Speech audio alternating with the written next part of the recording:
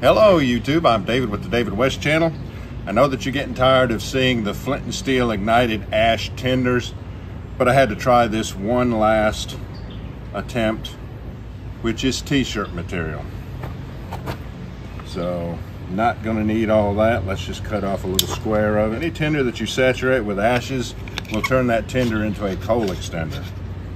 But what I did not know is that it'll also allow it to accept a very weak spark, a very cool spark, like from a flint and steel.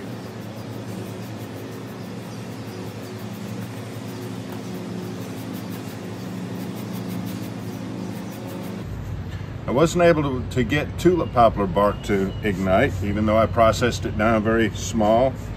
And I was not able to get uh, white oak sawdust to ignite which surprised me. But I think any of your standard coal extenders, saturated wood ashes is going to work. Like your bracket fungus and your plant piths and, you know, the standard coal extenders.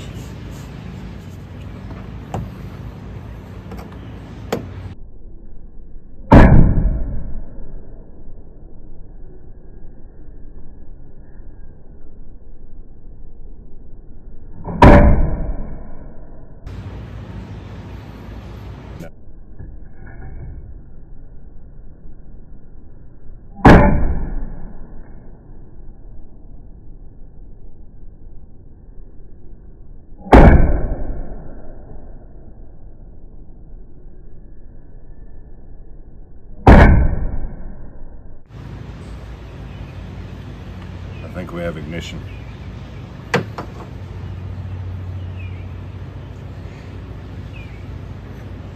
That appears to have ignited and gone back out. I think that's too much ash when it does that.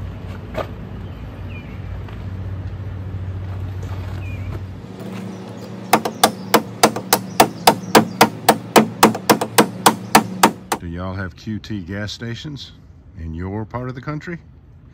And I napped a sharp edge on this chert.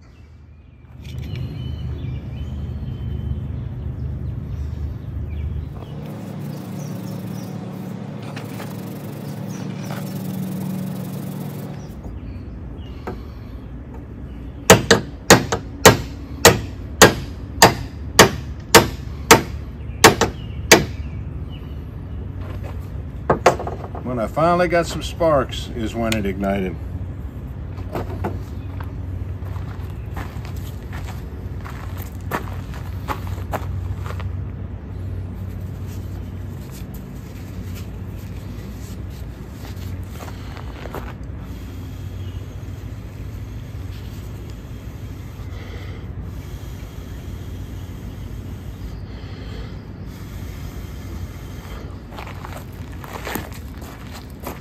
And can go ahead and put more ashes on it after it's ignited.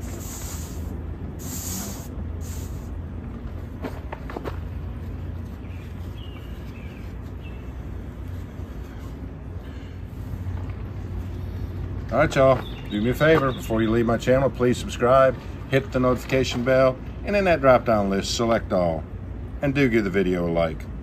I appreciate you joining me on this one. We'll catch you on the next one.